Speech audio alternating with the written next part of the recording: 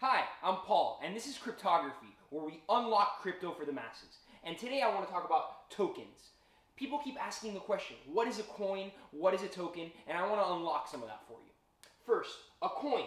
A coin is an entirely independent blockchain, kind of like Bitcoin, Litecoin, Tezos, Ripple. These are all totally independent blockchains with their own use cases, own management, own everything. And a token is something that exists on top of an existing coin or blockchain. For instance, Ethereum has these dApps, distributed apps, that exist on their blockchain. And it would be one, very slow, and two, very expensive for all of the small little computations that you need to use that app on Ethereum to be done using ETH. So instead, you create a token that represents ETH while you're using that dApp. I'll give you an example.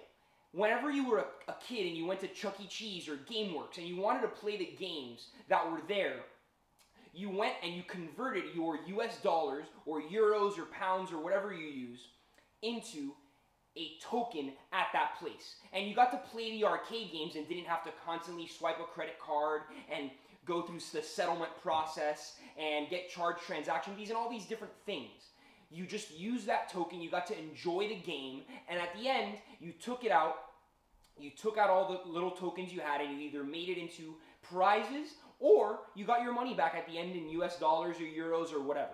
And that is what tokens are.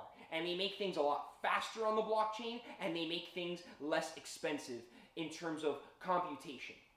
So that is why tokens and coins both exist in tandem. They're not replacements of each other and they're not the same thing. As always, at Cryptografi, we invite your comments, questions, criticisms. Please like and subscribe down below, and we, as always, really appreciate your support. Thanks.